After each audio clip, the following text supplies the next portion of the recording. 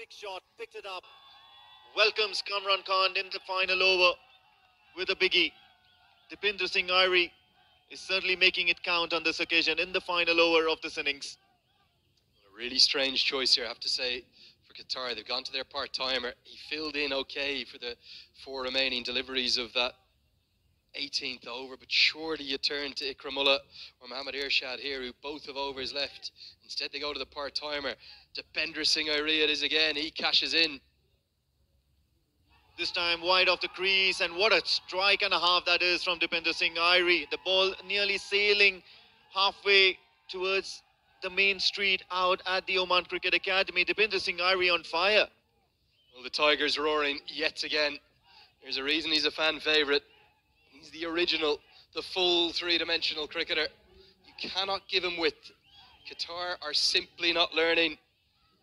Right now, this innings is turning into the best of the lot from Nepal. 40 off 17. It's driving them up towards 200. Still four deliveries left. This time shot once again and treated in a similar fashion. Dipendra Singh Airee is not letting this one go. He's going to make Kamran just pay for the, those poor deliveries, the poor choice of deliveries that he's planning to deliver. Well, shades of Jaskiran Malhotra at this very venue.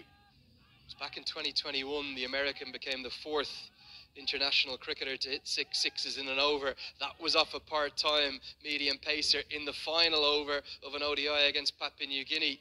And now it's this man, it's the Tiger himself, it's Dipendra Singh Airee. He's gone bang, bang, bang. Can he repeat the dose? Can he make three sixes six? Can he finish with the maximum allotment? Nepal are thinking of 200 plus, and it's all thanks to this man. Full this time around. The ball is sailing. The ball is sailing. And yes, mate, that's another six off the bat of Dipendra Singh Airee. Brings up his 50 in quick time here. 19 deliveries to be precise. And what a strike. Are we witnessing something extremely special at the Oman Cricket Academy? Well, a 19 ball 50. It's been world class ball striking. Look at the hands, look at the speed, look at the quality of ball connection from Dipendra Singh Airee. It's a ninth T20 International 50 strike rate, escalating, flying up towards 300. Oh, Airee, you're on the brink of something special here. Two more balls. Can Kamran Khan find an answer? Big shot, picked it up towards the onside this time around, nearly onto oval number two at the Oman Cricket Academy.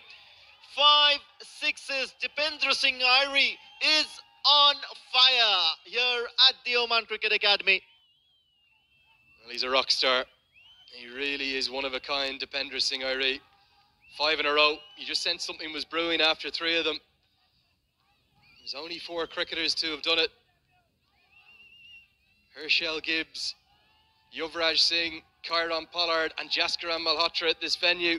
You just need one more, Tiger. Can you do it? Here's your moment. Full, and of course he goes aerial, he goes long, he goes big. Dipendra Singh Airee makes it six in a row. Six sixes on the very last over of this innings. Nepal are going back into the dugout with a thunderous, thunderous performance in the last quarter of this batting innings.